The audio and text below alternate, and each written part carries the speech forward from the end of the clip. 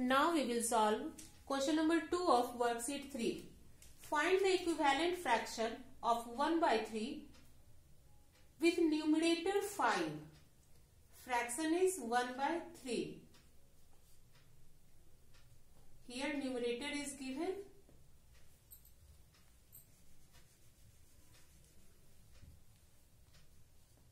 We have to find out denominator to get equivalent fraction.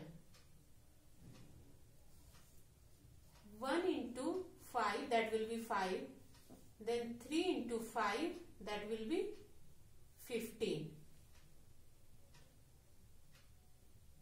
1 into 5 5 is 1 times sorry 5 is 5 times 1 and 15 is 5 times 3 that's why 1 5 ja 5 and 3 5 ja 15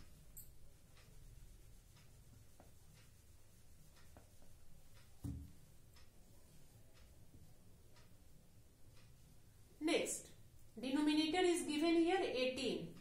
Fraction is 1 by 3.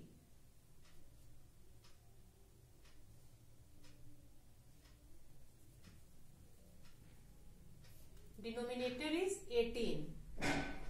18 is 6 times 3. So, numerator must be 6 times 1. 1 6 ja 6. 3 6 ja 18, 1 6 ja 6. Next, C. Numerator is 11 and fraction is 1 by 3. Numerator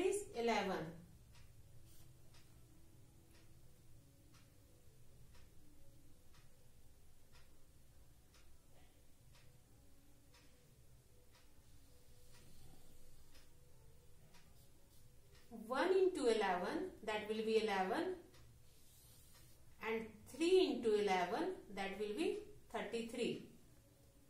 11 is 11 times 1. 33 is 11 times 3. 1 11 ja 11 and 3 11 ja 33. Next, coming question number 3. Change 5 by 9 into an equivalent fraction with denominator 54. At first we will write here fraction 5 by 9. Denominator is 54. We have to find out numerator to get an equivalent fraction. 9 6 ja 54. 54 is 6 times 9.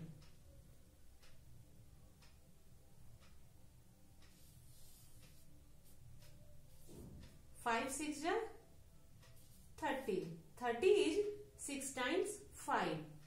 We have to multiply by same digit to get an equivalent fraction. Five six ja thirty. Nine six ja fifty-four.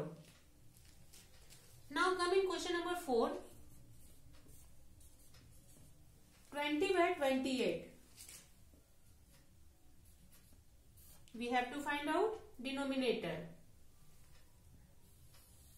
20 divided by 4, we will get 5.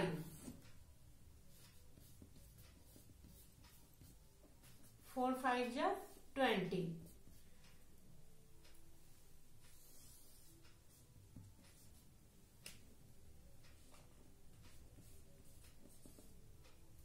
Four seven ja twenty-eight. We will write here seven.